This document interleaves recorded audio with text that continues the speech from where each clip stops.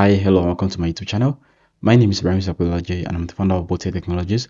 In this tutorial video today, I'm going to show you how I pawn the cap machine on Actobox. If you're new to this channel, please do not forget to like, comment, and subscribe to my YouTube channel. The first step in solving this machine is to connect my Kali Linux terminal to Actobox. So to do this, I'm going to click on connect to HTTP and I'm going to choose the method which I want. I'm going to click on machines and I'm going to click on open VPN. So I'm going to move this a little bit and I'm going to click on download VPN. So this is going to download a lab access file and once the lab access file has been successfully downloaded, I'm going to move into my download directory and right here I have the file. So what I'm going to do is I'm going to rename this file to cap.ovpn and I'm going to click on the rename button. Once the file has been successfully renamed, I'm going to right click on file and I'm going to cut this file. I'm going to navigate to my desktop and I'm going to create a new folder inside my desktop directory. The name of the folder is going to be called cap htb and I'm going to click on create and this is going to create the directory. So I'm going to navigate inside the cap htb and I'm going to paste the file which I've just renamed to cap.ovpn file. So once this has been successfully renamed, the next thing I want to do is I want to open my terminal inside the cap htb directory. So I'm going to click uh, open terminal here and this is going to open my Kali Linux terminal. So I'm going to type sudo openvpn followed by the name of the file which is inside the cap.cap.htb directory. So I'm going to click on enter and I'll be prompted to type in the password of my Kali Linux and I'm going to hit the enter key. So this is going to establish a connection between my Kali Linux terminal and Actobox. Once this connection has been successfully established, I'm going to split my screen vertically and I'm going to perform nmap enumeration. So this nmap enumeration is going to scan for all the open ports that are available on my target IP address, which is 10.10.10.254, and I'm going to hit the enter key. So I'm going to go back to my Actobox account and I'm going to click on join machine button.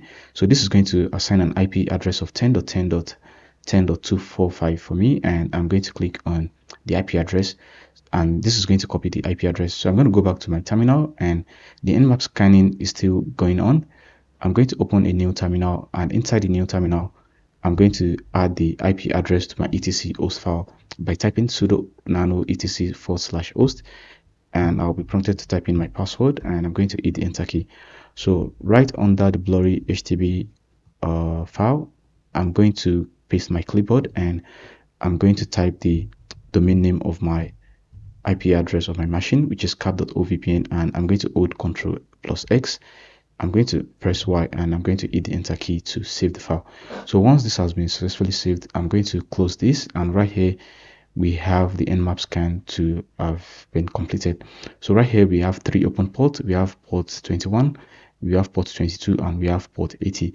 So the next thing I want to do is I want to go back to my browser and I want to paste my IP address, which is 10.10.10.245, and I'm going to hit the enter key. So this is going to redirect me to the security dashboard of Cap machine. So right here we have the dashboard, we have the security snapshot, we have the IP config, and also we have the network status. So now I need to find the vulnerabilities that can be exploited on this website. So the first thing I'm going to do is I'm going to click on the user Nathan and I'm going to click on message.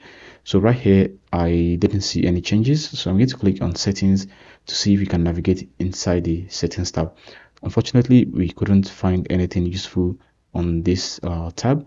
So I'm going to click on network status and right here, we are going to see all the active internet connections that are going in into the target uh, machine. So right here we have 1 to 7. We have uh, the protocols to be TCP, UDP, and Unix. So I couldn't find anything useful. So I'm going to click on the IP config. Inside the IP config tab, uh, right here we have the uh, machine IP address, which is 10.10.10.245. And I have the local IP address, which is reserved for the loopback. So I have 127.0.1 Unfortunately, I couldn't find anything useful in this tab as well. So I'm going to click on the security snapshot to see if we can find anything useful in uh, our machine. So right here, I have uh, the number of packets to be one. I have the number of IP packets to be one as well. And I have the number of UDP packets to be zero. So what I'm going to do is I'm going to click on this. So right here we have data forward slash three. So what i'm going to do is i'm going to modify these numbers to see if there is going to be any changes. So i'm going to change this to 2 and let's see if the number of packets and ip uh, packet changes. So right here we have the number of packets to be 355 number of ip and tcp packet to be 355 as well. So what i'm going to do is i'm going to modify this data to be 1 and let's see if we can find any changes as well so right here we have the number of packets to be 17,630 number of IP packet and TCP packet to be 17,479 as well. So I'm going to modify this one more time and I'm going to change the value to 0 to see if we can find anything useful. So right here we have the number of packets to be 72, IP and TCP to be 69. So what I'm going to do is I'm going to click on the download button and this is going to download a Wireshark file. So what we need to do is we need to analyze this file using Wireshark. So what I'm going to do is I'm going to right click right inside this download directory and I'm going to choose the option open terminal here. Once the terminal has been successfully launched, I'm going to type Wireshark, then followed by the part of the file which I've just downloaded, which is located inside the home Boltec downloads. And this is the name of the file. So I'm going to hit the enter key and this is going to open this file in Wireshark. So I'm going to expand this a little bit so that you can see my screen. So right here we have some of these uh, packets filtered.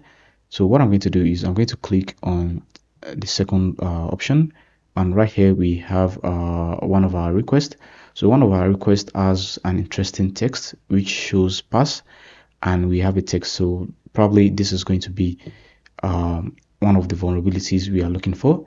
So I'm going to click on this packet and I'm going to right click and choose follow. I'm going to click on the TCP stream and this is going to open the file uh, the Wireshark in uh, a text editor. So right here I have the user to be Nathan and I have the password to be bucket at form 3 uh, with an exclamation mark.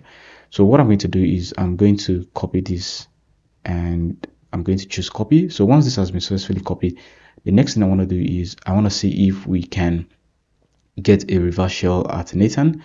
So what I'm going to do is I'm going to split the screen vertically and I'm going to type SSH Nathan at 10.10.10.245 and I'm going to hit the enter key.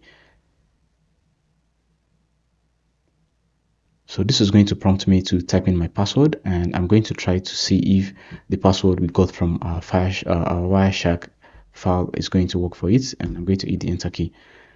So luckily we are able to get the reverse shell. So the first thing I'm going to do is I'm going to list out all the files uh, at Nathan and I'm going to type ls and I'm going to hit the enter key. So right here I have the user.txt file and I'm going to type cat user.txt to read the content of the file and I'm going to hit the enter key. So right here we got our user flag. So the next thing to do is we need to get our root user flag. So to do this we need to um, write some uh, privilege escalation Python file.